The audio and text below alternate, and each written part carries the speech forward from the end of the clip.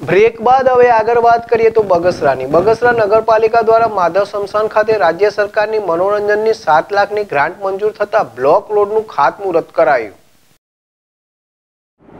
બગસરા શહેરમાં નગરપાલિકા દ્વારા વિકાસ કામોને વેગવંતો રાખી વિવિધ વિસ્તારોમાં રોડ રસ્તાઓ, લાઇટ, પાણી સહિત લોકોને સુવિધાઓ મળે તેવા સતત પ્રયાસો કર્યા છે.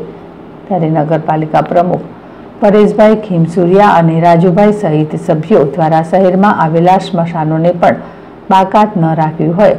તેમ નમૂનારૂપ ઉદાહરણ પૂરું પાડતું માધવ સ્મશાન છે.